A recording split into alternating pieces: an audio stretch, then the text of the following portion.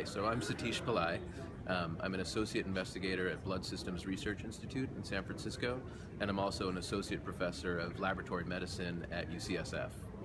Um, so my research in a nutshell is focused on understanding natural factors that affect the size of the HIV latent reservoir.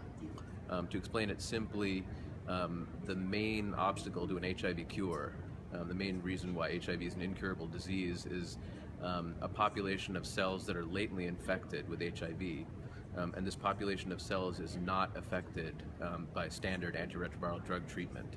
So my laboratory focuses on um, understanding natural factors that affect the size of that pool of latently infected cells. Um, and the end goal is to use that information to design new strategies to eradicate the latent reservoir and achieve a cure for HIV infection. Yeah, that's really exciting. We're really excited with your work. Um, can you tell me what uh, the latest, hottest, greatest findings have been in the past year or so? Yeah, so I can tell you. So, from the um, uh, the results of my first AMFAR funded study, um, we performed gene expression profiling um, of about 80 individuals that were on antiretroviral therapy. Um, and then we also measured um, the size of the latent HIV reservoir in all of these individuals. Uh, and the goal of that study was to identify particular genes that were associated with the size of the latent reservoir. Um, and what we found, um, we found some very, I think, um, impressive results, um, some very significant findings that the expression levels of a few particular genes um, was highly correlated with the size of the latent reservoir. And to describe those genes in a nutshell, um, those particular genes um, encode these proteins that are called restriction factors. Um, restriction factors are typically proteins that attack HIV right in the cell where it makes a living.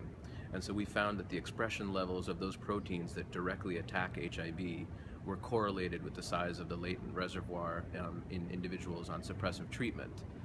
Um, interestingly, in addition to these factors um, working to suppress HIV directly in the, the infected cell, they also serve as regulators of cell cycle in the host. Um, and to explain that simply, um, you know, all cells undergo a process where they make copies of themselves. These genes appear to play a critical role um, in regulating that process of cellular replication. Um, and so kind of one of the end conclusions of this uh, study was that genes that are involved in controlling the rate at which cells proliferate in the body um, have a very important influence on the size of the latent reservoir. And so where we're going from there now is figuring out how to manipulate that um, using a range of laboratory methods. Our, our, first AMFAR funding was to um, identify particular genetic factors that were associated with the size of the latent reservoir. Um, my more, more recent AMFAR grant um, that I received a few months ago builds directly on top of those findings. So what we had done before was survey, um, you know, patients at large by collecting large um, uh, populations of cells and measuring the expression of those genes across a population of cells. Now what we're doing is we're studying single latently infected cells. So we're using some very cutting edge um, bioengineering tools to be able to study gene expression at the single cell level. And so now we're seeing, when we look at um, single latently infected cells, can we find particular proteins or particular genes that are associated with the establishment of latent infection at the single cell level, which I think will really dramatically, you know, complement and extend the findings that we generated within our first round of AMFAR funding. Yeah, absolutely. The second thing I wanted to mention was, in addition to doing the single cell analyses, now um, that we were able to identify a few factors that are highly associated with the size of the latent reservoir, we're using a range of laboratory methods to actually manipulate the uh, expression and activity of those factors to see if we can um, uh, modulate the establishment and reversal of HIV latency in vitro. Um, and we have some very promising findings that are coming out of our lab right now where um, we've been able to use um, natural human factors to um, modulate the effectiveness of some of these genes that we identified in our AMFAR funding. And now we, have actually shown that we can reverse latency very potently in the lab. And um, some of those data will be featured in a publication in the next couple months. This agent, you know, that we're working on now that can reverse latency based on that information that we generated in our AMFAR study might be something that we could treat individuals with to um, shock the virus out of latency and um, decrease the size of the latent reservoir. And ultimately achieve a cure. AMFAR has been incredibly crucial to our work. So um, uh, that gene exp- so our first AMFAR study allowed us to study um, to examine both the effects of um, the expression of genes on the latent reservoir as well as genetic polymorphisms on the size of the latent reservoir. Um, so in terms of my own personal career development as well as the career development of several trainees in my lab, that funding was absolutely critical um, and also helped us to generate a lot of preliminary data to um, achieve, uh, to uh, obtain a larger NIH grant um, to extend these findings.